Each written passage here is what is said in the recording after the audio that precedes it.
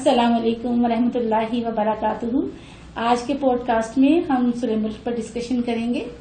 और सूर्य मुल्क कौन से सिपारे में अगर मैं आपसे पूछ लूँ आज? मेरे ख्याल में हम अपने देखने वालों से पूछ लेते हैं। आप इसलिए तो नहीं देखने वालों से पूछ रहे हैं कि आपको मालूम नहीं है?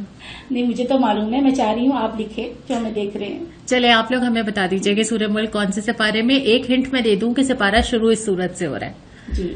ठीक है तो हम सूर्य मुल्क आज लेके क्यों आए हैं? इसके इंतखाब की वजह यह है कि हमें बहुत सारे लोग कमेंट में ऐसी सूरतें बता रहे थे जो ज़्यादातर घरों में बहुत ज़्यादा कसरत के साथ पड़ी जाती है।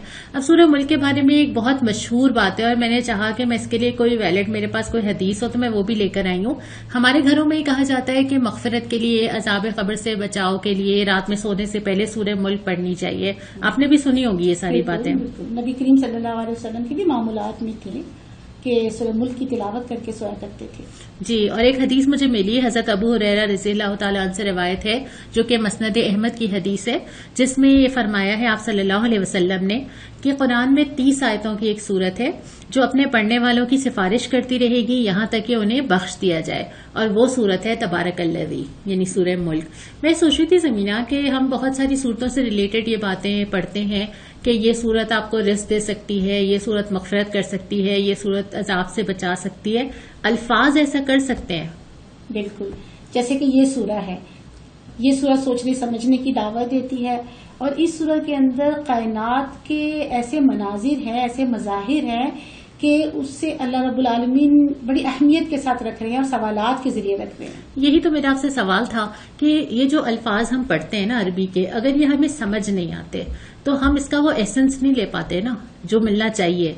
जैसे अब अगर सूर्य वाकया रिज देती है तो उसके अंदर ऐसी क्या खास बात है? कि, कि हमें तो पता भी नहीं हम क्या पढ़ रहे हैं। अब सूर्य मुल्क मुझे नहीं समझ आती मुझे इसका तर्जुमा भी नहीं आता लेकिन मैं रोज़ाना पढ़ रही हूँ पढ़ रही हूँ पढ़ रही हूँ। ये मेरी मफफरत करवा देगी सिर्फ़ पढ़ने की वजह से? या इसके पीछे कोई और सोच है? इसके पीछे ये सोच है कि इसे अगर हम तर्जुमे से समझकर और तफसीर के साथ पढ़ेंगे समझते हुए पढ़ेंगे तो हमें पता चलेगा कि अल्लाह ताला ने इसमें हमसे क्या फरमाया है। और वो चीज़ हमारे अमल में नज़र आएगी फिर। फिर ये अमल में उतर सकती है। है ना? अच्छा इस सूरत के अंदर सूर्य मल का जब मैं जमाना नजूल देख रही थी तो इसका जमाना नजूल भी मक्का ही का है। और ये सूरत भी तमाम मक्की सूरतों की तरह जितनी मक्की सूरतें आप उठाएँगे ना कुरान की कुछ बेसिक चीज़ें हैं ईमानियात के मुतालिक जहाँ से अल्लाह ताला बात शुरू करते हैं। अभी अहकाम नहीं आए अभी ज़िंदगी बदलने की बात भी नहीं हो रही पर्दा नमाज़ जक़ात सब बाद में आएगा। वो चीज़ें जो आपकी बेस बनाती हैं, जहाँ से फिर सारी चीज़ें जो है वो निकलती है शाखें निकलती हैं। वो ये है कि आपके दिल के अंदर अकीदा क्या है। आप क्या सोचते हैं? अपने बारे में क्या सोचते हैं? अपनी हैसियत के बारे में क्या सोचते हैं? दुनिया के बारे में, आखरत के बारे में, लोगों के बारे में, अल्लाह के बारे में। ये चीज़ें आपके कॉन्सेप्ट ठीक होते हैं तो आपकी ज़िंदगी की ना डायरेक्शन ठीक हो जाती है। इस सूर्य मुल्क के अंदर मुझे यही सारे टॉपिक्स मिले। और मैंने जब इसको मार्क किया और हम थोड़ा थोड़ा करके लेके जाएँगे सबसे पहले मुझे ये लगा कि शुरू जो सूरत होती है एक लफ्ज बड़ा इंपॉर्टेंट है तबारक बियदिल मुल्क। बहुवाला कुल्ली शैन कदीर कि वो जो जात जो कदीर है जो कादिर है जो मुख्तदिर है वो बड़ी बरकतों वाली जात है। ये मुझे सूर्य फातिहा से बहुत सिमिलैरिटी के अंदर नज़र आई ना। सूर्य फातिहा में भी अल्लाह ताला ने हिदायत की बात बाद में की है ठीक है? पहली बात क्या की है? ये क्लियर कर लो कि तुम कौन हो और वो कौन है। है ना? तुम्हारा और अल्लाह ताला का यानी बंदे का और अल्लाह का जो आपस का ताल्लुक बनता है अगर वहाँ पे क्लैरिटी नहीं होगी ना तो अब बाकी चीज़ें की बात नहीं हो सकती। सबसे पहले अल्लाह कौन है? कितनी कुदरत वाला है? तुम्हें बनाने वाला तुम्हें भेजने वाला तुम्हारे लिए सारा ये स्टेज जिसमें तुम रह रहे हो इस्तेमाल कर रहे हो चीज़ें और उसके बाद तुम्हारी हैसियत और तुम्हारी ताकत और तुम्हारी औकात। और उसके बाद फिर बेस बनती है कि अच्छा फिर ज़िंदगी क्या है? अल्लाह का तारुफ अल्लाह की हैसियत और फिर बंदे की हकीकत। ऐसा ही है। हम्म। तो पहली आयत तो यही बात करती है कि जिसके हाथ में जैसे कि आपने कहा कि वो हर चीज़ के ऊपर कादिर है। उसके बाद आ जाता है फलसफा ज़िंदगी। हुआलदी खलकलमऊत वलहयात अली अबलुकुम अयुकुम अहसन अमला। वो ये देखना चाहता है और उसने मौत और ज़िंदगी बनाई है ताकि वो ये देखे कि तुम में से कौन करता क्या है। और यहाँ पर सबसे ज़्यादा गौर करने की ये बात नहीं है कि अल्लाह ताला ने मौत का तस्करा पहले फरमाया कि तरतीब देखिए कि खलकल मऊत अवल हयाता बियबलुआकुम को अगर हम बाद में ले लें जी अगर हम ये ले लें पहले देख लें कि अल्लाह ताला ने मौत का तस्करा पहले किया है और ज़िंदगी का बाद में ज़िंदगी बड़ी गैर यकीनी सी चीज़ है ना कि हमें नहीं पता कब खत्म हो जानी है लेकिन मौत बड़ी यकीनी चीज़ है हमें पता है मौत आनी है अच्छा आप वक्ती तौर पे ना बात करना चाहें ना नज़रें चुरा लें और आप इस पे बात करना पसंद ना करें लेकिन ये ऐसी हकीकत है जिससे हर एक को लाजमी गुजरना ही है।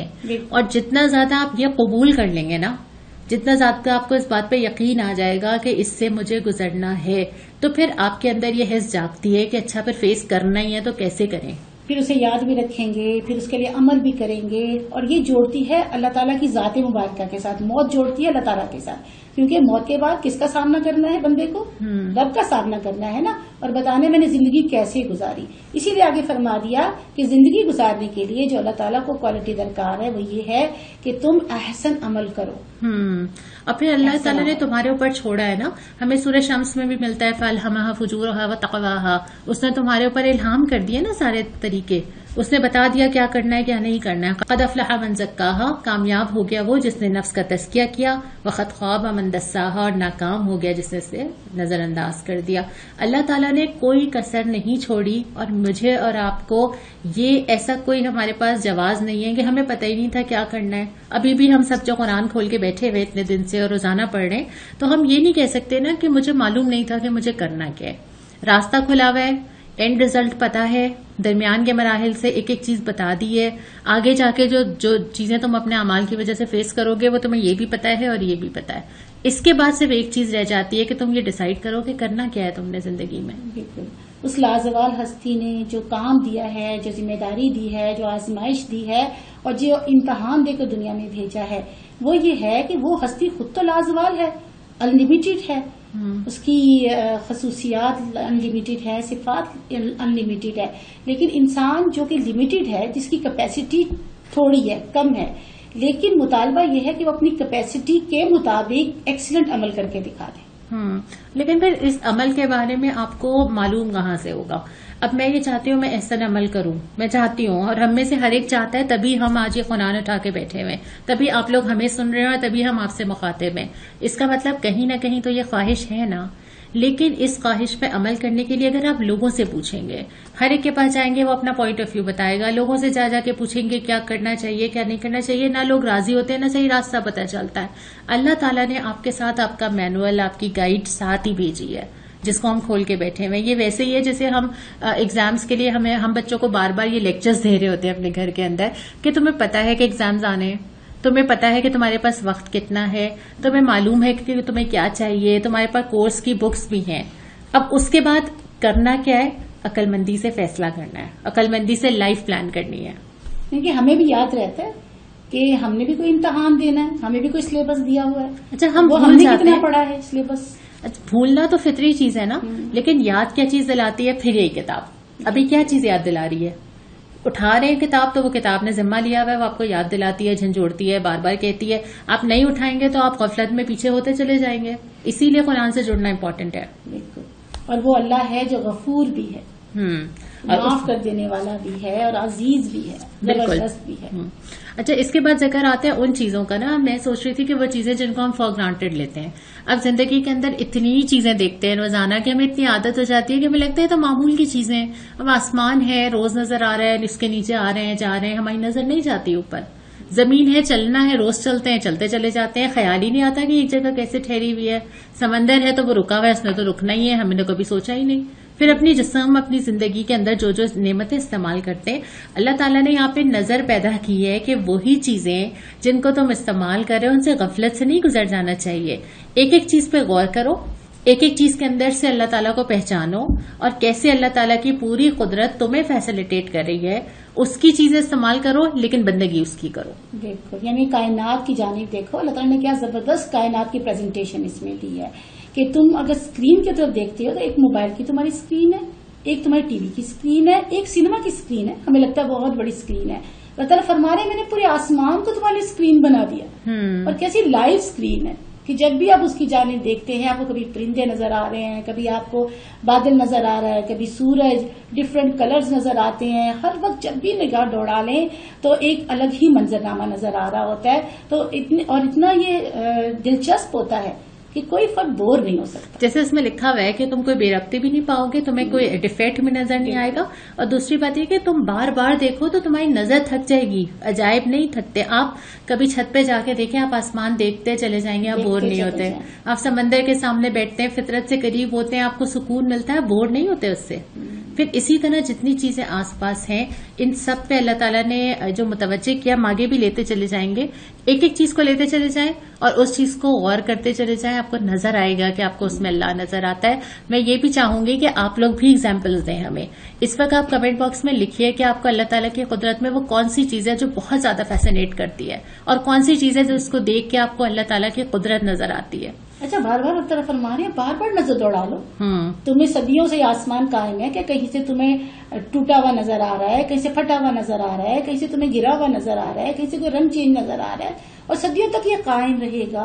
तो अल्लाह तला बार बार यहाँ पर तवज्जो दिला रहे हैं अपनी कायनात की जाने। और इस कायनात को देखने के लिए जो आँखें आपकी हैं वो कितने मेगापिक्सल की हैं। और उसके लिए आप कितने ये कैमरा उससे बेस्ट कैमरा उससे बेस्ट कैमरा और ये चीज़ें जो अल्लाह ताला ने आपके अंदर फिट इन कर दी हैं। वो सारी चीज़ें दे के दुनिया के अंदर भेजा है जिसमें हम आगे भी बात करेंगे।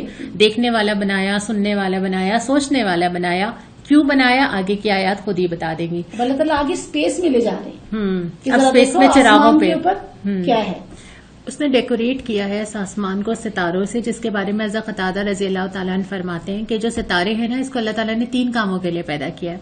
एक काम तो ये है कि ये आसमान की जीनत है, जहरे देख के खूबसूरत लगते हैं।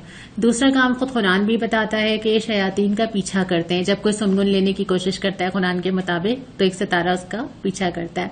और तीसरी चीज़ ये कि इसके ज़रिए जो है लोग रास्ता पाते हैं। यानी उस जमाने में जबकि जीपीएस नहीं है और हमारी और आपकी तरह लोकेशन तो शेयर नहीं हो सकती तो सितारों से लोग जो है वो सफ़र के लिए भी रास्ते मालूम किया करते थे। बल्कि महीनों का आगाज़ जो है वो चाँद से मालूम किया करते थे। तो ये सारी चीज़ों का ज़िक्र यहाँ पे भी है कि अल्लाह ने आसमान को चरागों से आरास्ता किया। और ये सारी चीज़ें वही हैं जो नज़र तो रोज आती है लेकिन नज़र के लिए भी एक नज़र चाहिए होती है। अलमसाबी का लफ्ज इस्तेमाल किया उसका मानिए बहुत अजीम शान की ह्यूज बॉडीज हैं स्पेस बॉडीज हैं। अच्छा 1400 साल पहले तो नहीं पता था कि क्या सूरत हाल है वो टेक्नोलॉजी नहीं थी कि मालूम हो सकता कि ये कितनी कितनी बड़ी इजसाम है जो अभी भी नहीं पता। आपने जो आपको वही मालूम है जो आपने डिस्कवर कर लिया है। अभी आपने पता नहीं क्या क्या आगे जाके डिस्कवर मजीद करना है। और अपनी ही कितनी जो है वो आरा से अपने जाके रुजू कर लेना है। हो सकता है आप अभी जो समझ रहे हैं इससे भी कोई यूज़ चीज़ हो जिसको आपने भी नहीं देखा। टिमटिमाते हुए छोटे छोटे तारे नज़र आ रहे होते हैं लेकिन दरअसल अल्लाह ताला हमें बता रहे हैं कि ये छोटे छोटे नहीं है। बल्कि ये बहुत ही ज़्यादा ह्यूज बॉडी देखिए कायनात में इतनी चीज़ें हैं जो इतनी अनोखी हैं लेकिन इनका अनोखापन हम रोज़ाना देखने की वजह से इतने यूज़ टू हो जाते हैं कि हम उसको महसूस ही नहीं करते। मैंने एक बच्ची को देखा वो पानी की धार जो नल में से आती है ना वो उसको पकड़ ग्रिप करने के लिए हाथ यूँ बढ़ा रही थी। मैंने सोचा कि हमने इसको कभी सोचा ही नहीं कि हम जब हर सॉलिड चीज़ को महसूस करते हैं हम अपनी मुट्ठी में पानी बंद नहीं कर सकते। यानी उस माए को हम इस्तेमाल कर रहे हैं, पी रहे हैं, हर चीज़ उससे कर रहे हैं। मुट्ठी में बंद नहीं कर सकते हम उसको। ये कितनी अनोखी चीज़ है। लेकिन ये अनोखापन जहन से महव हो जाता है। सही। और हम शैतानों को भी देखें कि हमें खुद को, हम कितना बेबस महसूस करते हैं कि नहीं, शैतान जो है, उससे लड़ना बड़ा मुश्किल है और उससे बचना बड़ा मुश्किल है। लेकिन अल्लाह ताला जो सबसे ज़्यादा कादिर है अल्लाह ताला जो सबसे ज़्यादा कदीर है जो सबसे ज़्यादा गालिब है तो अल्लाह ताला ने उनका पूरा इंतज़ाम कर रखा है। हम्म। अगर वो कोई सुनगुन लेने जाते हैं तो अल्लाह ताला तारों के ज़रिए उनको हाँ। मारकर तो वहाँ से भगा देते सिर्फ़ उनका इंतज़ाम नहीं किया हुआ अल्लाह ताला ने कुफार का भी किया हुआ है जो अगली आयत में ज़िक्र है ना कि जिन लोगों ने कुफर का रवैया अख्तियार किया। अच्छा आमतौर पर हम तफासिर के जितने भी कुरान के तर्जुमे देखते हैं ना वहाँ पे कफरू का जब लफ्ज आता है वहाँ पे ज़िक्र होता है अल्लाह का कुफर किया है मुझे तफीमुल कुरान में जो इसका तर्जुमा कहीं कहीं ना इतना अच्छा लगता है मौलाना मौदूदी ने इस पर बहुत तफसील से रोशनी डाली है हम यहाँ पे तो शायद इतनी तफसील ना ले सकें लेकिन आप लोग ज़रूर तफीमुल कुरान पढ़ेंगे तो आपको अंदाज़ा होगा उन्होंने कुफर को कुफर का रवैया कहा है। यानी कुफर सिर्फ़ ये नहीं है कि आप अल्लाह ताला का इनकार कर दें या आप ये कहें कि मैं मुसलमान नहीं हूँ। कुफर ये भी है कि आपकी जबान पे तो कुछ और हो लेकिन उस कुफर के जो दर्जे हैं उसमें से एक दर्जा ये है कि आप अमली ज़िंदगी में उसका इनकार करें। कुफर अल्फाज से भी होता है कुफर अमाल से भी होता है कुफर कौल से भी होता है और फेल से भी होता है। और ये भी होता है कि आप कह तो कुछ और रहे हो हम्म। लेकिन आपका दिल इंकार कर रहा हो। और अगर आपका दिल मान भी रहा है तो आपकी ज़ुबान इंकार कर रही होती है बाजों और बाज दोनों एक ही पेज पे होते हैं लेकिन अमल इंकार कर रहा होता है। तो वो सारी चीज़ें जो है वो इनकार का रवैया जो है वो उसमें सारी चीज़ें आ जाती हैं।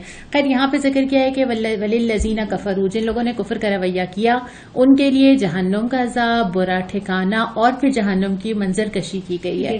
कि वहाँ पे जिस तरह लोग आवाज़ें सुनेंगे वो जोश खा रही होगी। वो आपको जैसे आपकी जब आप कोई गर्म चीज़ पका रहे होते हैं तो कैसी आवाज़ें आती है ना वो पकने की? उसकी हिद्दत जो है उसकी गर्मी मीलों से महसूस हो रही होगी बल्कि उसकी एक जगह मैंने ये भी पढ़ा था कि उसके अंदर से जो बदबू आ रही होगी, वो भी मीलों तक उसका पता चलेगी और जो उसकी आवाज़ होगी उसकी चिंगाड़ने की आवाज़ होगी जो शोर होगा जो चीखो पुकार होगी वो भी मीलों से आ रही होगी। अल्लाह ताला हम सबको इससे हाँ। महफूज रखे। और फिर ज़िक्र किया जाता है कि जब वहाँ पे कोई डाला जाएगा लाके कोई जानदार लाके डाला जाएगा तो उनसे पूछा जाएगा वहाँ जो कारिंदे होंगे वो उससे पूछेंगे। और मैंने इस जगह पे अपने आप से सवाल किया ना कि अगर अल्लाह ताला महफूज रखे जब कोई इंसान अल्लाह के पास जाएगा और उससे पूछा जाएगा तुम्हें कोई किसी ने खबरदार नहीं किया था? आज अपने आप से पूछें। मैं अपने आप से पूछती हूँ आप अपने आप से पूछें। किसी ने खबरदार नहीं किया था और मैं मेरी नज़र फ़ौरन इस कुरान के ऊपर जाती है कि खबरदार करने के लिए अब मजीद क्या आना है मुझे मालूम है। सब मुझे मालूम है मुझे नेकी भी पता है बुराई भी पता है जहन्नुम भी पता है जन्नत भी पता है सही रास्ता भी पता है और गलत रास्ता भी पता है। और फिर फरमाया जाएगा बल्कि वो लोग जो कहेंगे जवाब देंगे हाँ मालूम था। हमारे पास आई थी हिदायत लेकिन हमने झुटला दिया। हमने नहीं माना। हमने इग्नोर किया। मानना, ना मानना सिर्फ़ ये नहीं होता कि मैं किताब को नहीं मानती या मैं ये कहूँ कि नहीं, मैं मुसलमान नहीं हूँ, नाउजुबिल्ला। ना मानना ये भी होता है कि ठीक है, आया है, कहीं ऊपर पड़ा है, कहीं साइड पर पड़ा है, बेशक गोटे वाला कवर चढ़ा के उसको कहीं अलमारी के ऊपर वाले खाने में रख दिया ना। और ये भी है कि अच्छा ठीक है, वो तो मौजूद है, लेकिन लाइफ तो मुझे तय करना है कि मैंने अपनी ज़िंदगी में क्या करना है। और ये भी हम अपने देखने वालों से पूछ सकते हैं कि आपने ये देखा है कि कॉमन रवैया है कितना ज़्यादा? ये आपके आसपास भी होता होगा ना कि लोग इस तरह से कहते होंगे कि हम तो सब जानते हैं, बस रहने को हमें तो सब पता है। अच्छा लोग से ज़्यादा मुझे लगता है कि दूसरों को जज करने के बजाय ना आपको अपना आईना देखना चाहिए कि कभी कभी ये अनइंटेंशनली हम करते हैं ये। यानी लोग तो करते ही हैं, लेकिन यहाँ बात तो मेरी और आपकी हो रही है। हम क्या करते हैं? हम भी यही करते हैं। और जितना ज़्यादा आप कुरान भी पढ़ते हैं, जैसे हमने शुरू में बात की ना, आप नेमतों के भी यूज़ टू हो जाते हैं, उन नेमतों में से आप कुरान के भी यूज़ टू हो जाते हैं। हर तरावी में पढ़ पढ़ के, सुन सुन के, रमज़ान में उठा उठा के, बस आप पढ़ते चले जा रहे होते हैं। हर नमाज़ में सूर्य फातिहा पढ़ के इतने यूज़ टू हो जाते हैं, हमें अंदाज़ा नहीं होता कि हम अल्लाह से कह क्या रहे या का नाम नाबुदू वैया का नस्तीन हर रोज दुआए कनूत पढ़ के इतने यूज़ टू हो जाते हैं कि जो वादे उसमें कर रहे होते हैं, जहन में भी नहीं आता कि बोल क्या रहे हैं अल्लाह तला से। और यहाँ पर अलम यातिकुम नजीर कहा गया है। ये नहीं कहा अलम यातिकुम बशीर। हम्म। क्योंकि लोग कहते हैं ना कि नहीं अच्छी अच्छी बातें करो डराने की बातें ना करो खुशखबरियाँ देने की बातें करो। तो यहाँ पढ़कर ये महसूस हुआ जो मेरी समझ में बात आई वो ये आई कि सिर्फ़ बशारतें देने ही से हम जहन्नुम से नहीं बच सकते। बल्कि खबरदार करने से किसी के किसी के डराने से शायद हम गुनाहों से बच जाए और शायद हम रुक जाए। अच्छा नजीर सिर्फ़ डराना नहीं होता खबरदार करना होता है। यानी आपको ये बताना कि आपको क्या फेस करना है। ये सिर्फ़ ये नहीं होता कि आप डरने लग जाएँ और आँखों में आँसू आ जाए बल्कि ये भी होता है कि आपको पता हो कि आगे क्या होना है ना। इसका खौफ हो आपके दिल में या इस बारे में आप हसासियत रखते हो आप ये फील करते हो कि अच्छा एक चीज़ पेश आनी है।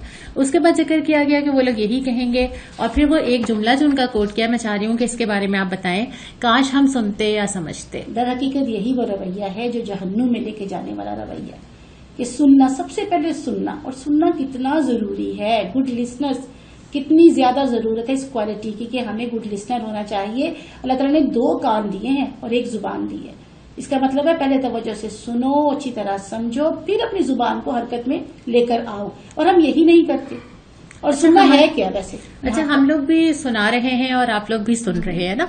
लेकिन सुनने के साथ साथ जो समझने का ज़िक्र है ना मुझे इस बात में बहुत हिकमत नज़र आती है। सिर्फ़ सुनते रहना काफ़ी नहीं होता। मतलब आप साला साल दर्स लगा के सुनते रहे आप यूट्यूब पे वीडियोस देखते रहे आपका दिल नहीं भरेगा। सुनते रहना सुनते रहना और सिर्फ़ सुनते रहना बजाते खुद आपके अमल में रुकावट बन जाता है। सुनना उस वक्त काम आता है जब सुनने के साथ साथ आप इसको समझ के अपनी ज़िंदगी में इसको इम्प्लीमेंट कर रहे हो। सिर्फ़ बरकत के लिए सिर्फ़ कुरान भी आप सुनते चले जाएँगे कुरान के वो फ़ायदे नहीं मिलेंगे जो कुरान लेकर आए हैं। ये तो एक स्टेप है। बिल्कुल काश हम सुनते और या समझते तो आज इस भड़कती हुई आग के सजावारों में शामिल ना होते। हम्म। उस वक्त का काश कहना हम्म। उस वक्त का पछताना जब कुछ हो नहीं सकता। बिल्कुल। तेरी बेबसी की तस्वीर है ना खींची हुई हम्म। बहुत जगह कुरान में काश का लफ्ज आया है। कि जब वो कहेंगे, काश काश काश, ना और काश हमें कुछ वक्त और मिल जाता, काश हमें भेज दिया जाए वापस, ना। तो अल्लाह ताला उसी काश से बचाने के लिए आज कुरान पढ़ा देता है, कुरान पकड़ा देता है। और मुझे हमेशा ये बहुत बड़ी ब्लेसिंग लगती है, अल्लाह की बड़ी नेमत लगती है कि अल्लाह ताला आपको लोगों में शामिल करे कि आप कुरान को सुनने वाले और समझने वाले हो। अगर आप इस वक्त भी यहाँ बैठे हुए कुरान खोल के बैठे हैं और आप हमें सुन रहे हैं और हम यहाँ कुरान खोल के बैठे हैं, ये अल्लाह ताला का इतना बड़ा एहसान है कि अल्लाह आपको सुनने, समझने और अमल करने का मौका दे रहा है। इस नेमत को भी महसूस करना बहुत ज़रूरी है। ये हरेक को नहीं मिलती। और आगे अल्लाह ताला ने वो क्वालिटी बता दी जो जन्नतों में ले जाने वाली वो क्या है? वो है बेदेखे रब से डरना। हाँ जो लोग अपने रब से इन लजीना इकशौना रब बहुम बिल गई और उनके लिए दो चीज़ें का वादा है मगफरत और अजर अजीम अजर अजीम अच्छा अल्लाह ताला से बगैर देखे डरना। अच्छा ये अ, मुझे लगता है कि वो वाली चीज़ है जिसको रमज़ान में हमें ठीक ठीक समझ आती है ना वही रोज़े के सिलसिले में जब हम बात करते हैं कि आपको कोई और इंसान नहीं देख रहा लेकिन आप रोज़े की हिफाजत पूरा दिन करते चले जा रहे हैं कुछ मुँह में नहीं डाल रहे और ये प्रैक्टिस करवाई जाती है कोई नहीं देख रहा लेकिन तुम्हारा रब तुम्हें देख रहा है और ये ज़िंदगी बदलता है। अब दुनिया के इतने कानून बनते हैं इतनी आइन में सजाएँ होती हैं आपके पुलिस के पास पूरा एक वो सजाओं का और एफआईआर का और छापे मारने का तरीका होता है कोई उन गुनाहों की पकड़ नहीं कर सकता जो आप अकेले में करते हैं या मौका मिलता ही जब कोई देखने वाला नहीं होता, जब कर जाते हैं। सिर्फ़ ये एक चीज़ है जो सारी चीज़ों की बुनियाद है। अल्लाह का खौफ जो आपको हर गुनाह से रोक सकता है। और जब ये पैदा हो जाता है तो उसके बाद इंसान के अंदर इतनी कॉन्शियसनेस आ जाती है कि आपने नीयत से डरने लगते हैं कि मेरी नीयत क्या थी? मैंने ये अमल किया मैं सोच क्या रही थी? आप अकेले में दिल के वसवसों से डरने लग जाते हैं कि आपके दिल में शैतान ने क्या ख्याल डाल दिया? कोई दुनिया तो नहीं कर सकती इस पे कोई गिरफ्त। और अकल को चैलेंज करने वाली ये क्वालिटी है कि बेदेखे दर हकीकत डरना तो बेदेखे ही हो सकता है ना? हम्म। जब निगाहों ने देख लिया जब निगाहों से वो पर्दे हट गए और ये तब कब हट हटेंगे?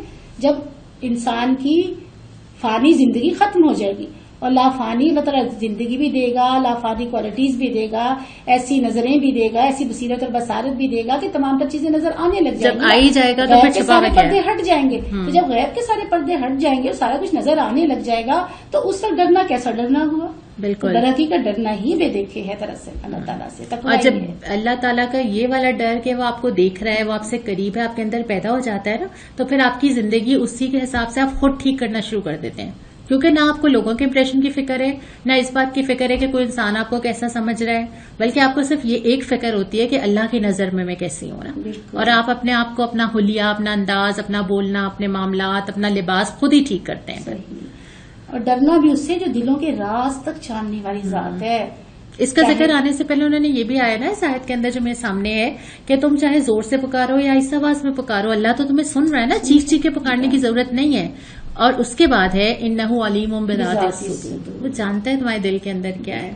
मैं बार बार समीना ये बात बहुत दफ़ा करती हूँ लेकिन मेरा बहुत दिल चाहता है मैं बार बार रिपीट करूँ। ये आयत मुझे इतनी अच्छी लगती है। एक तो इस आयत में डर लगता है। इसलिए डर लगता है कि बहुत सारे अच्छे काम भी जाया हो सकते हैं। अगर अल्लाह दिलों के हाल से वो नियतों का निकाल के ले आए कि शैतान कहाँ नकब लगा लेता है। आपने बहुत इन्फाक कर लिया, दूसरों की मदद कर ली, आपने बहुत अल्लाह के लिए वक्त दे दिया, लेकिन नियत आपके साथ नहीं है। अल्लाह जानता है ना कि दिलों के अंदर क्या है और उसको किस तरह छांट लेगा तो पता नहीं क्या बचेगा हमारे पास। और दूसरी मुझे शायद से इतना हौसला मिलता है कि आप अल्लाह के लिए बहुत कुछ नहीं करते हैं। है ना, चाहते हैं, नहीं कर पाते, कमज़ोर हैं, दो कदम आगे जाते हैं, फिर पीछे आ जाते हैं। लेकिन अल्लाह हौसला देता है कि अल्लाह दिलों का हाल जानता है।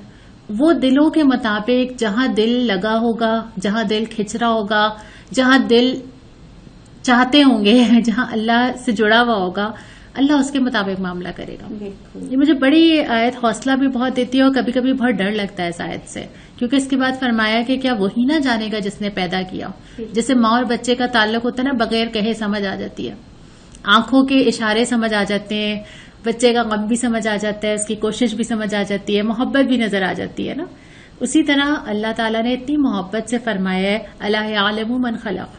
जिसने पैदा किया वो नहीं जानता तो सोचने समझने वाले दिल सीखने वाले दिलों के लिए मुझे लगता है यही दो बातें काफ़ी हैं कि वे देखे अपने रब से डरना क्योंकि दिलों के राज तक वो जानता है और क्या वही ना जानेगा जिसने पैदा किया। इस आयत को सुन के ना मेरा दिल चाहता है कि अल्लाह के सामने बैठ के ना इंसान सब कुछ कह दे ना? अल्लाह ने पैदा किया वो जानता है मेरी ज़िंदगी वो जानता है मेरी कमजोरियाँ वो जानता है मेरे मसाइल वो जानता है कि मेरी तड़प वो जानता है कि मेरी क्या क्या मुश्किल हैं जो हल नहीं हो रही? वो जानता है ज़िंदगी में क्या क्या फेस किया जो लोगों को समझ नहीं आता। वो जानता है कि एक घर बनाने में एक औरत क्या क्या कुछ बर्दाश्त कर रही होती है ना? लोग नहीं जानते। अल्लाह जानता है। फिर अल्लाह जानता है कि हमारी कितनी सारी चीज़ें ऐसी हैं जो हम नहीं कर पाते, लेकिन हम करना चाहते हैं। और फिर अल्लाह जानता है हमारे हालात, और अल्लाह चाहे तो हम इन सारी चीज़ों से निकाल ले, आसानियाँ पैदा कर दे, हमारा हाथ पकड़ ले तो बस अल्लाह के सामने बोल दें। कह दें अल्लाह ताला से सारी बातें और उसके बाद फरमाए कि वो बाखबर भी है और बारीक भी, भी है। उसको सब पता है। बताओ या ना बताओ। अल्लाह ताला कायनात की तरफ़ ही तवज्जो दिला रहे हैं कि और समझाने के लिए मजीद अपनी बात को इंसानों के दिलों के ऊपर नक्श करने के लिए अब अल्लाह ताला कायनात की जानब मतवजो फरमा रहे हैं और कुछ सवाल कर रहे हैं। हाँ मैंने वो सात सवाल निशान लगाए थे। मैंने सोचा है ज़्यादा आसान रहेगा कि हम जितनी आयात अब आ रही है ना इससे लेके आयत नंबर पंद्रह से लेके एंड तक वो सारी की सारी आयात जो है वो क्वेश्चन हैं। और वो वाले सवाल है और मैं चाहूँगी कि आप लोग हमें सुन रहे हैं ना इसके जवाब आप साथ साथ लिखिए। अल्लाह ताला ने जो सवाल किया है हम भी इसके ऊपर बात करते हैं और हमसे और आपसे सवाल किया है। इसका जो जवाब आपको समझ में आता है आप कमेंट बॉक्स में ज़रूर लिखिए और सातों सवाल ले लें हम एक एक करके। बिल्कुल एक एक करके ले लें। पहला सवाल जो मुझे यहाँ पे नज़र आता है जिसमें शुरू में तो ज़िक्र किया है कि हमने ज़मीन को तुम्हारे लिए ताबे किया है। ज़मीन के अंदर जो रिस्क है जो खुद ही उगा रहे हो खुद ही खा रहे हो पौधों से रिस्क निकलना मेरे और आपके हाथ में नहीं है। गंदम कहाँ से आ रहा है चावल कहाँ से आ रहा है? हम तो कोई कमाल नहीं इसमें अंजाम दे रहे ना कि ज़मीन के अंदर बीज लगाए वो निकले ना निकले। तो अल्लाह ये रिस्क का इंतज़ाम तुम्हारे लिए करता है और उसके बाद सवाल नंबर एक ये है क्या तुम इस बात से बिल्कुल बेखौफ हो कि जो आसमान में है वो तुम्हें ज़मीन में धसा दे और ये ज़मीन अचानक हिचकोले खाने लगे? यानी कि अल्लाह ताला ये फरमा रहे हैं कि देखो ज़मीन किस रब की कंट्रोल में है? अभी गुजरा है ना टर्की का जलजला। और आता ही रहता और खुद पाकिस्तान में कितना बड़ा गुजरा इससे पहले? मुझे तो लगता है अल्लाह याद दिलाना चाहते हैं झंझोड़ना चाहते हैं कि देखो तुम किस तरफ़ जा रहे हो। फाई ना तजहादून किस तरफ़ चले जा रहे हो? जरा देखो तो सही किस तरफ़ दौड़े भागे जा रहे हो? और तुम्हें दौड़ना भागना है किस तरफ़? और इस सवाल से ये भी समझ आता है ना कि सारी लाइफ जो सेटल है वो चंद सेकंड्स की अल्लाह ताला अगर ज़मीन को हिला दे तो वो सारी ज़िंदगी उलट जाए घर उलट जाए घर की इन्वेस्टमेंट सारी जितने आप घर बनाते हैं क्या क्या जमा करते हैं, वो सारी चीज़ें चंद सेकंड की मार है अल्लाह की तरफ़ से। और नबी करीम सल्लल्लाहु अलैहि वसल्लम का हमें मिलता है कि हज़रत आयशा फरमाती हैं कि जब तेज हवा भी चलती थी ना, या कोई बादल भी आप सल्लल्लाहु अलैहि वसल्लम देखते थे तो आपके चेहरे मुबारक पे उसका असर नज़र आता था। और हज़रत आयशा फरमाती है कि मैंने एक दफ़ा ये बात सवाल कर लिया तो आप सल्लल्लाहु अलैहि वसल्लम ने फरमाया कि इस बात की क्या जमानत है कि यह अजाब इलाही ना हो। और ये भी फरमाया कि बाज अफवाम ऐसी थी जिनके लिए अजाब जब आ रहा था तो वो देख के खुश हो रहे थे कि ये बादल तो हमारे लिए बारिश लेकर आया है। यानी वो जो एक्साइटमेंट बारिश की थी उनको अंदाज़ा नहीं था कि ये अजाब है। बिल्कुल। और यहाँ पे बार बार देखिए अल्लाह ये दोहरा रहे हैं कि क्या तुम इससे बेखौफ हो? हम्म। इनके सवाल शुरू ही अल्लाह इस चीज़ से क्या कर रहे हैं कि इतनी ज़्यादा कुदरतें तुम्हारे सामने रखकर फिर अल्लाह ताला ये सवाल कर रहे हैं कि क्या तुम अल्लाह ताला की इन कुदरतों से बेखौफ हो? हम्म। कि तुम जिसके पास कोई पावर नहीं है। कोई हिम्मत नहीं है तुम्हारे हम्म। पास कोई ताकत नहीं है कोई कुत नहीं है कोई कुदरत नहीं है। लेकिन तुम किस रब के सामने खड़े हो जाते हो? या ये हल इंसान उमागर का रब कल हम्म। अच्छा और इसमें यही सवाल है कि तुम्हें डर नहीं लगता? मतलब क्या तुम बेखौफ हो गए हो आप आसान कर लें? तुम्हें इस बात से डर नहीं लगता? और दूसरा सवाल जो इसके बाद आगे आता है कि क्या तुम इस बात से भी खौफ बेखौफ हो कि जो आसमान में है वो तुम पर पथराव करने वाली हवा भेजते? यानी कोई भी कुदरत की ऐसी चीज़ जो इस वक्त तुम्हें सपोर्ट कर रही है अल्लाह अगर उसको हुक्म दे दे तो वही सारी चीज़ें वही हवा वही बारिश वही बादल तुम्हारे गेस चलने लगे। वही ज़मीन जो रुकी हुई है वो ना रुके वही समंदर जो ठहरा हुआ है वो ना ठहरे। तो तुम्हें डर नहीं लगता? पथराव करने वाली हवाएँ आई थी। पथराव किए गए थे कौमों के ऊपर जिन पर हम्म। अजाब आया और फिर अल्लाह ने उनको कैसा बना दिया। और फिर सारी टेक्नोलॉजी धरी की धरी रह जाती है। कोविड ज़्यादा पुरानी बात नहीं है। हमारी जनरेशन तो बहुत करीब से देखा है ना। तरक्की टेक्नोलॉजी आपकी सारी चीज़ें एक तरफ़ रह गई। अल्लाह ताला ने आपको घरों में बंद किया ज़मीन तंग किया और आप जो है वो घर से निकलने के काबिल नहीं रहे। तो ऐसी चीज़ें कभी भी आ सकती हैं। और ना नज़र आने वाला वायरस हम्म। नज़र नहीं आ रहा था वो। ताकतवर तरीन टेक्नोलॉजी को इस्तेमाल करके भी नज़र नहीं आता था। स्टिल कंट्रोल नहीं कर पा रहे फिर ये कि उसकी कोई वैक्सीन दरियाफ्त नहीं हो सकी उसका कोई तोड़ नहीं है आज तक उसको उस तरह से ये काबू नहीं कर सके कंट्रोल हम्म। नहीं कर सके। तो अल्लाह अच्छा उन दिनों में तो और ज़्यादा अल्लाह तला की कुदरतें और ज़्यादा अल्लाह तला के जो कायनात के अंदर फैली हुई अल्लाह तला के तारुफ हैं, जो निशानियाँ हैं, वो ज़्यादा समझ में मुझे लगता है आती थी। क्योंकि लोगों के पास वक्त भी था बहुत सारा फारिग वक्त था। लोग बैठा करते थे आसमानों को भी देखा करते थे। तभी तो इसमें फरमाया कि फिर देख लो कि मेरी गिरफ्त कितनी सख्त थी। और उसके बाद फिर परिंदों की मिसाल के जो तुम्हें परिंदे नज़र आते हैं और जो तुम्हें आसपास की चीज़ें नज़र आती हैं अगला सवाल यही है कि क्या ये लोग अपने ऊपर उड़ने वाले परिंदों को पर फैलाए और सुकेड़ते नहीं देखते? यानी अल्लाह ने कैसे आसमान में उनको बैलेंस किया? हुआ है किसकी कुदरत है? और उसके बाद अगला सवाल ये कि वो कौन सा लश्कर है जो रहमान के मुकाबले में तुम्हारी मदद कर सकता हो? जितना भी इंसान गुरूर कर ले, जितना भी नाज कर ले अपनी तरक्की के ऊपर, कायनात की ये हकीकतें उसको ला के इस पॉइंट पर ले आती हैं कि वो बेबसी का एतराफ कर ले, कि भाई ये चीज़ हमारे इख्तियार में नहीं है। इस चीज़ के आगे साइंस भी हार मान चुकी है और तरक्की भी हार मान चुकी है ना? तो अगर अल्लाह लाना चाहे हमें और आपको तो हमारी वो सारी चीज़ें जो हमें अल्लाह से दूर करती हैं, वो सारी की सारी चीज़ें यूँ उठा ले हमसे।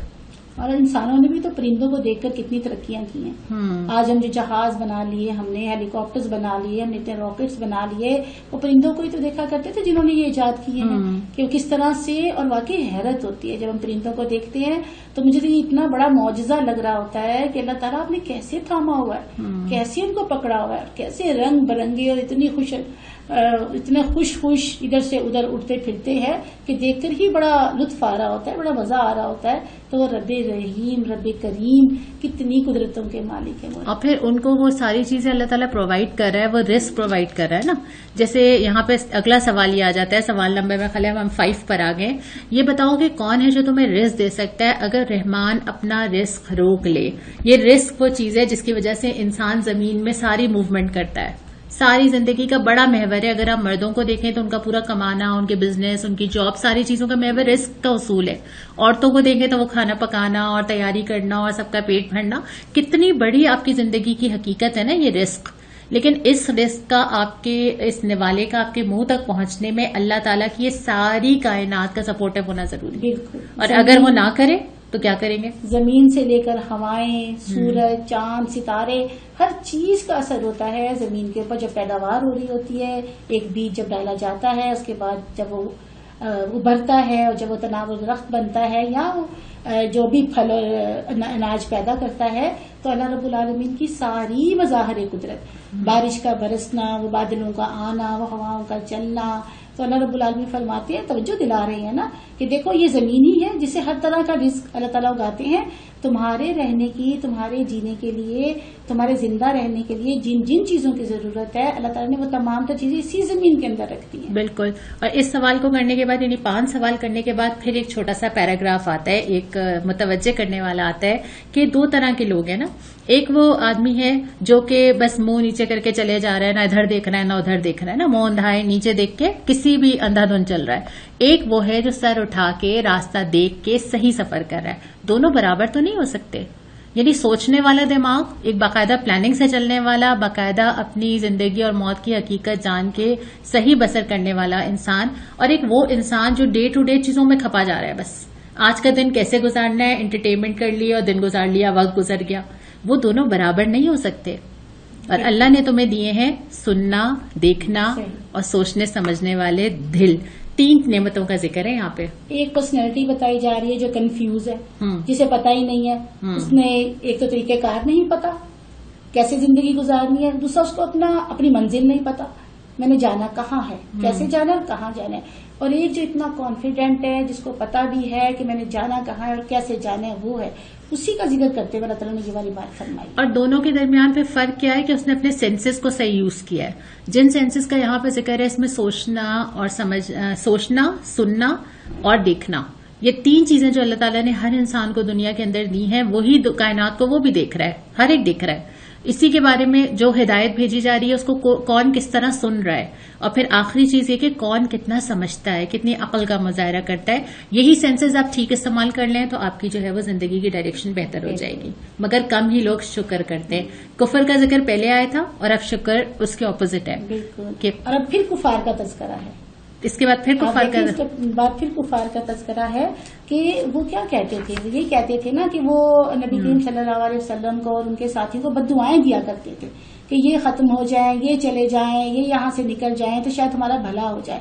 उन्हीं को मुखातिब करके अल्लाह ताला यहाँ पर क्या फरमा रहे हैं? यहाँ पे फरमाया जा रहा है कि वो पूछते हैं ना कि वादा कब पूरा होगा? अगर आप सच्चे हैं और ये सारी आप हमें बता रहे हैं कि ये होगा ये होगा तो आप बता देंगे कब पूरा होगा ये टाइम लिमिट कब तक है हमारे पास? इसका जवाब ये दिया गया है कि मेरा काम नबी करीम सल्लल्लाहु अलैहि वसल्लम को बताया गया कि आप इनसे कहिए मेरा काम तो मैं खबरदार करने करना है लेकिन इसका इल्म जो है वो अल्लाह ताला के पास है। जब ये दिन आ जाएगा तो हर एक देख लेगा फेस करेगा जो इनकार करेगा उनके चेहरे बिगड़ जाएँगे और जिन्होंने यकीन किया था वो खुश खुर्रम होंगे। और फिर अल्लाह ताला आते हैं आखिरी दो क्वेश्चंस के ऊपर क्वेश्चन सिक्स और सेवन मैं जरा पढ़ना चाहूँगी। जी। इनसे कहो कभी तुमने ये भी सोचा कि अल्लाह खा मुझे और मेरे साथियों को हला कर दे या हम पर रहम करे? काफिरों को दर्दनाक अजाब से कौन बचा लेगा? यही तो है सवाल नंबर छह। सवाल नंबर छह यही था और जो आपने बिल्कुल ठीक निशानदेही की कि ये भी तो अपने आप से सवाल करो ना। ना, आप इनसे पूछिए, आप हमसे सवाल किया जा रहा है कि सोचो कि कौन है जो बचा सकता है सिवाय अल्लाह ताला के, और ये जब सारी चीज़ें आती हैं, जब मुश्किलात आती हैं, और मैं बार बार ये बात सोचती भी हूँ और कहती भी हूँ कि आप आईसीयू के अंदर आपको सिर्फ़ कुरान नज़र आता है। मैयत वाले घर में आपको सिर्फ़ कुरान नज़र आता है। आपको पता है कि आपने कहाँ जाना है। आपको पता है कि कौन निकाल सकता है मुश्किल हालात से। तो अल्लाह के सिवा कोई और बचाने वाला नहीं है। नहीं, और फिर तवक्कल ना। बिल्कुल। फिर अल्लाह है तवक्कल ना। जो पहले था कि अल्लाह पे तवक्कल करके छोड़ दो ये सारे मामला अल्लाह के ऊपर। हम्म। तो अल्लाह यहाँ पर भी यही फरमा रहे हैं वाले है तवक्कल ना। और आखिरी सवाल ये किया है इनसे कहो कि कभी तुमने सोचा कि अगर तुम्हारे कुओं का पानी ज़मीन में उतर जाए जिस पे आपकी पूरी हयात पानी के ऊपर डिपेंड कर रही है ना अगर ऐसा हो जाए तो कौन तुम्हें पानी ला के देगा? और इसका जवाब हमें मिलता है रवायात में कि जब तुम ये आयत पढ़ो तो जवाब दिया करो अल्लाह यातीना भी वह रब्बुल आलमीन। अल्लाह हमारे लिए लाने वाला है और वो तमाम जहानों का रब है। तो इन सवालों का जवाब भी जैसे कि मैंने शुरू में कहा कि आप कमेंट्स में भी दीजिए और जब भी आप सूर्य मुल्क पढ़ें तो इसके जवाब में ये कहिए कि बेशक अल्लाह है जो हमारे लिए कर सकता है। आज के दौर में देखते हुए ना पहले अल्लाह ताला ने फरमाया कौन रिस्क देने वाला हम्म। और यहाँ पर अल्लाह फरमा रहे हैं कि अगर पानी अल्लाह तला रोक ले तो आज हम कमोबेश इसी तरह के हालात से दो चार नहीं है। कहीं पानी के मसाइल हैं कहीं बिजली के मसाइल हैं। कहीं गैस के मसाइल हैं। और आजकल तो आप बताइए शहरी में आपके यहाँ गैस आ रही है कि नहीं आ रही? और बहुत सारी जगहों पर तो शहरी में भी गैस नहीं आ रही और बिजली भी रमज़ान में ज़रूर एक दिन आता है जिस दिन पूरा दिन जो है वो लाइट नहीं होती। तब देखिए तमाम तर चीज़ें ये महँगाई इस कदर हो चुकी है हम्म। कि रिस्क नज़र आ रहा है सब कुछ सामान नज़र आता है लेकिन उसको लेने की ताकत नहीं। किसी और जगह हम इस पर भी बात करेंगे कि अल्लाह ने रिस्क का जिम्मा भी लिया हुआ है फिर रिस्क की तंगी भी नज़र आती है लेकिन रिस्क देने का फलसफा क्या है? मुझे लगता है हम सूर्य वाक्य में हमें इसके ऊपर बात करनी चाहिए। अच्छा जब मैं इस सूरत को मुकम्मल करती हूँ तो मैं इसका जब कंक्लूजन देखती हूँ ना सूर्य मुल्क का तो मुझे कुछ चीज़ें बस तीन चार लाइनों में मैं चाहूँगी कि मैं ज़रूर रखूँ। ये पूरी सूरत जो है ये आपको मगफिरत कैसे देती है? ये बख्शिश कैसे कराती है? ये अजाब जहन्नुम से या कबर के अजाब से कैसे बचाती है? इसलिए कि ये आपका अकीदा ठीक करती है आपकी ज़िंदगी के पूरे तस्वुर को ठीक करती है। सबसे पहले ये बताती है कि तमाम कायनात अल्लाह ताला के हाथ में है ताकि आपका अपने रब के साथ ताल्लुक ठीक हो। फिर ये ये बताती है कि ये ज़िंदगी जो आपको दी गई है, ये आजमाइश है। ये खेल तमाशा, ये सिर्फ़ ऐसे स्पेंड करने के लिए नहीं है कि आपको आज का दिन कैसे गुजारना है, बल्कि ये पूरी ज़िंदगी आजमाइश है जिसका नतीजा आखिरत में हमें मिलने वाला है। उसके बाद वो ये बताती है हमारा कॉन्सेप्ट ठीक करती है कि अपनी ज़िंदगी में आप जो करते हैं ज़ाहिर और बातें दिल के अंदर या अमाल के अंदर अल्लाह हर चीज़ को जानता है और वो तुमसे करीब है। आखिर में कॉन्सेप्ट ठीक करती है कि रिस्क अल्लाह ताला के हाथ में है। जो ज़मीन से तुमने हासिल करना है वो अल्लाह ने लिखा हुआ है। लेकिन जो अल्लाह के लिए तुमने यहाँ करना है उसके लिए एफर्ट खुद करनी होगी। तो ये फिर मोमिन का ताल्लुक अपने रब से ठीक करती है कायनात से ठीक करती है आपस के दूसरे इंसानों से ठीक करती है नेमतों के इस्तेमाल से ठीक करती है। उसके नतीजे में आपकी ज़िंदगी के इकदार, आपकी ज़िंदगी कैसे बसर होनी चाहिए, आपकी ज़िंदगी का पूरा निज़ाम ठीक होता है। जी। जिस इस आखिरी आयत के साथ बाद मुफसरीन ने बिल्कुल पहली आयत को जोड़ दिया। कि जब ये तबारक फरमा रहे हैं ना कि कौन लेकर आ रहा है कौन लेकर आएगा वो पानी जो अल्लाह ताला के ज़मीन में उतार दे फिर उन्होंने ये साथ प्यारी बात कहा कि ये पहली आयत इससे जोड़ के पढ़ो और फिर इंसान को समझ आती है तबारक मुल्क शैइन कदीर। इस खूबसूरत बात के ऊपर हम आज अपने पॉडकास्ट का अख्ताम करते हैं। अल्लाह ताला हमें इस सूर्य मुल्क से वो पैगाम लेने वाला बना दे कि वाकईतन ये हमारी बख्शिश का सबब बन जाए। अगले पॉडकास्ट में एक नई सूरत के साथ हम सब आपके साथ मौजूद होंगे। अस्सलाम वालेकुम रहमतुल्लाह